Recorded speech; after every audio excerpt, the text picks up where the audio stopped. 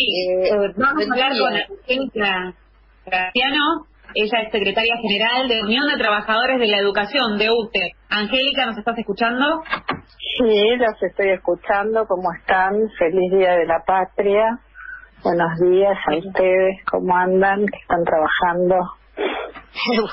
buenos días. Buenos días, buenos días. Buenos días. Eh, y sí, feliz Día de la Patria y estamos eh, haciendo este programa en forma remota, El Amor es más fuerte, a través de Radio Rebelde y, bueno, sorteando los pequeños percances que ocurren en la transmisión remota, que a veces son percances domésticos.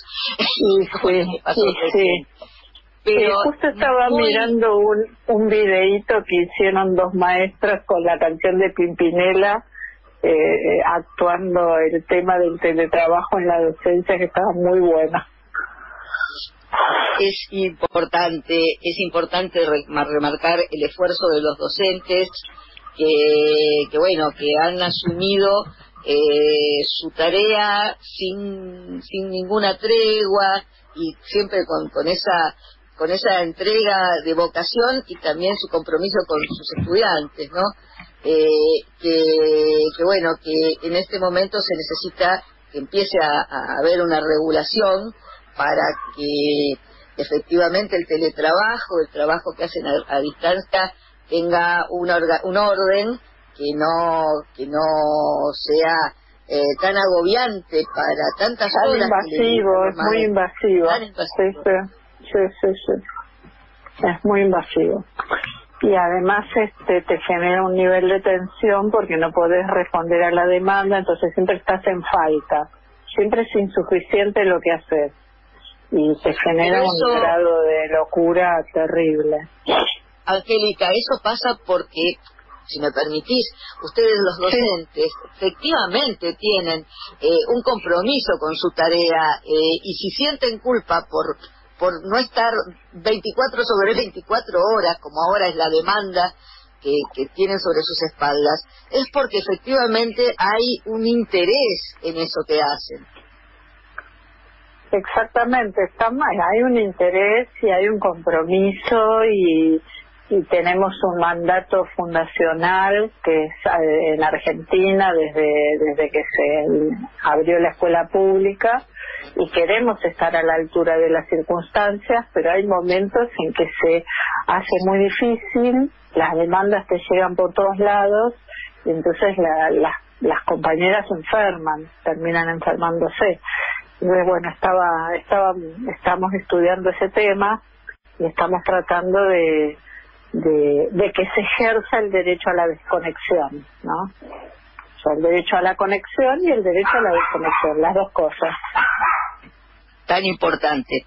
muy, eh, muy importante, muy importante.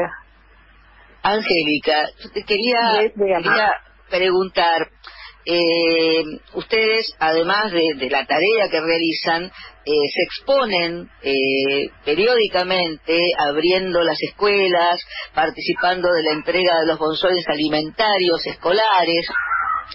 Eh, que, que, que, bueno, que, que, realizan también con mucho amor, con mucha dedicación, pero eh, sin los elementos que tendrían que entregárseles para su protección, tengo entendido.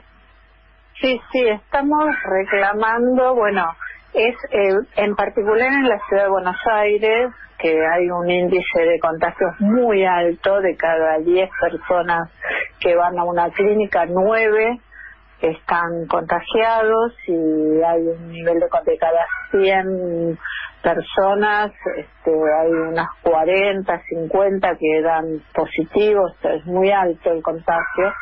Eh, estamos solicitando que se cambie el, el modo de, de llegada de los alimentos a las familias a través de una tarjeta que se llama tarjeta alimentaria escolar, que sería el depósito de, los montos de los 20 días de los almuerzos.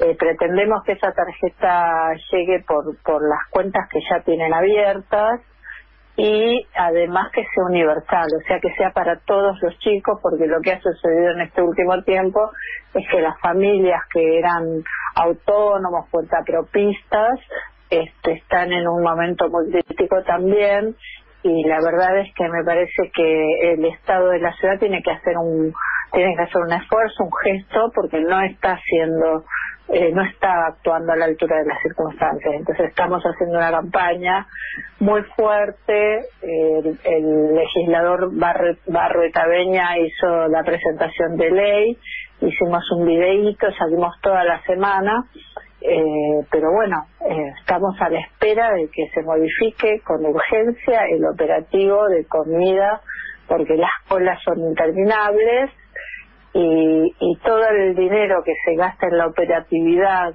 de, de, la, de las canastas tendría que ir directamente a las cuentas y que cada familia compre en el comercio de proximidad. Esa es la propuesta. Angélica, eh, Mariela te habla. Eh, Mariela, ¿cómo estás?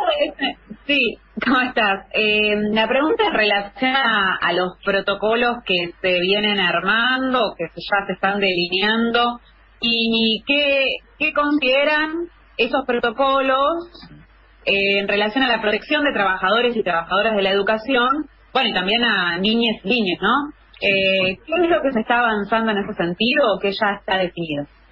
en protocolos para la vuelta de la escuela. Exacto.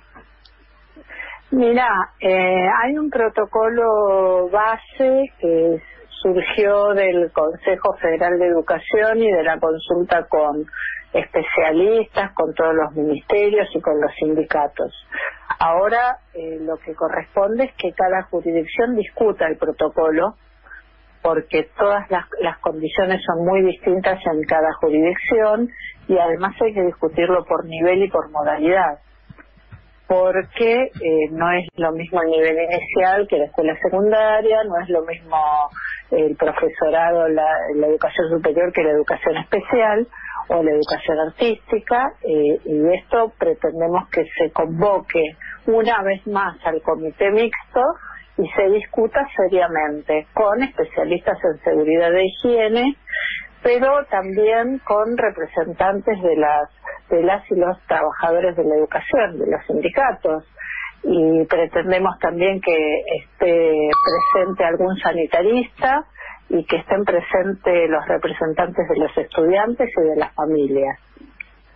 En la ciudad de Buenos Aires no ha habido ninguna reunión hubo un protocolo que decía protocolo borrador, que no es un protocolo que se consensuó con absolutamente nadie, que, salió del ministerio y que no sabemos eh, a razón de qué, y que fue rechazado por la comunidad educativa, fue rechazado por, las, por los equipos directivos, fue rechazado por, por las familias. Hay una encuesta que dice que el, del, del 100%, el 37% de las familias dicen que aún aunque se abran las escuelas, no van a mandar los chicos a la escuela porque tienen miedo a los contagios y tienen mucho miedo a, la transmisión asintomática del virus. Después hay un 30% que dice que va a mandar los chicos a las escuelas si se les garantiza las medidas de seguridad y hay un 30%, eh, un 20 y pico que no contesta pero es muy es muy serio el abordaje que hay que hacer y vos pensás que eh, la lavandina no se distribuye desde el mes de marzo en la ciudad de Buenos Aires, en las escuelas. Que eh, la caja chica no está depositado todavía. La caja chica son la, lo que se da anualmente para comprar los materiales de la dirección de la dirección o las pizzas o en tu caso los, los, marcadores ahora para las, las pizarras blancas. Y el fondo de cooperadora tampoco fue depositado. Entonces me pregunto, si vos necesitas que cada 40 minutos se limpie una escuela, se limpie el baño, si que necesitas más personal, eh, más auxiliares, además necesitas refuerzo de lavandina y de alcohol en gel, mínimo. Después tienen que ir los especialistas de seguridad y higiene a marcar los pisos con la distancia. Después hay que hacer eh, un periodo de capacitación para, para los docentes, para las familias y para los chicos, porque vos no podés tomar decisiones si no las consultas con nadie, si no las consensuas. Porque las, las mejores normas y reglas que se respetan son las que se construyen en comunidad. Angélica, estamos, eh, ¿cómo estás? Eh, muchas veces hemos... Bien, ¿cómo andas? Hemos hablado, primero que nada, feliz Día de la Patria. Muchas veces hemos hablado sobre Gracias. Sobre la cuestión de la conectividad y las dificultades que había en la ciudad para que los chicos puedan acceder a los contenidos. En ese sentido, ¿se ha avanzado? ¿Ha, ¿Ha, habido un avance respecto a la situación anterior? Hoy en día los chicos están en mejores condiciones para conectarse con las aulas virtuales, por decirlo así. No, no, las condiciones son las mismas de la última vez que conversamos eh, que hay un 47% que se conecta en forma virtual y simultánea.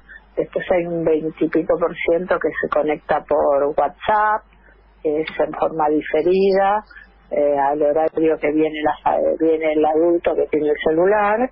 Y después hay un 20 y pico por ciento que no se conecta de ninguna manera o sea que depende de los cuadernillos en papel, de las fotocopias, por eso es tan importante la caja chica, para poner toner, eh, para que ande la fotocopiadora y para poder distribuir esos materiales.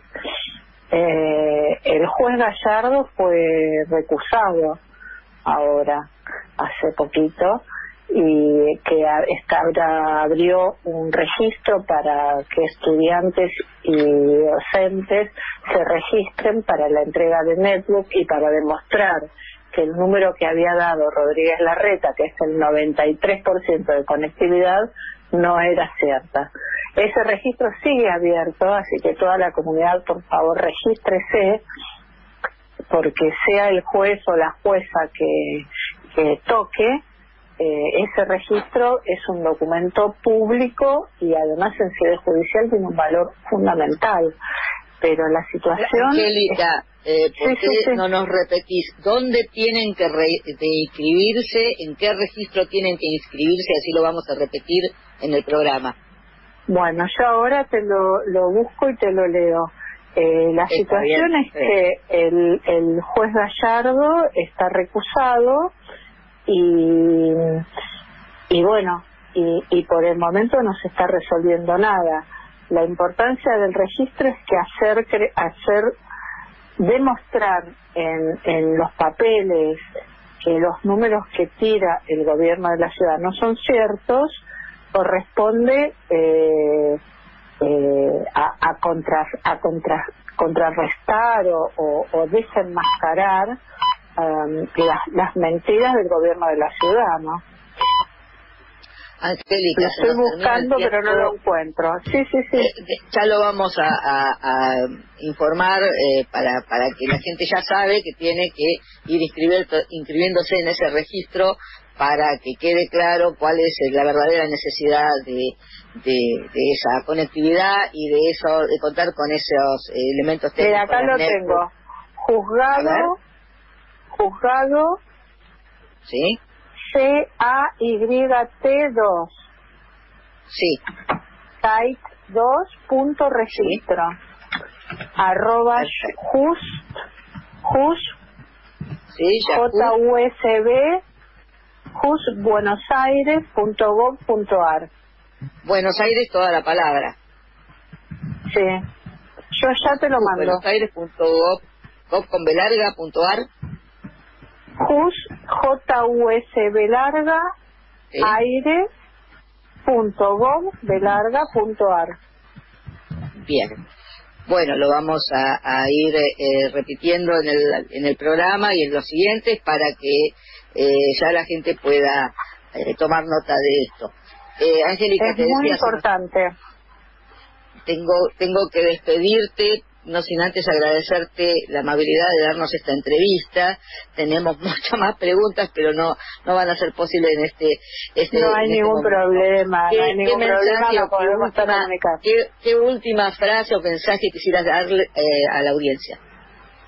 En el Día de la Patria, que cumplir con la cuarentena y cuidarnos es estar haciendo patria y que todos juntos tenemos que organizarnos comunitariamente para que aquellas personas que tengan necesidades y tengan eh, situaciones complejas reciban la asistencia del Estado que corresponde en la ciudad de Buenos Aires. Así que a organizar la comunidad. Un abrazo. Un abrazo, Angélica Graciano. Muchas gracias.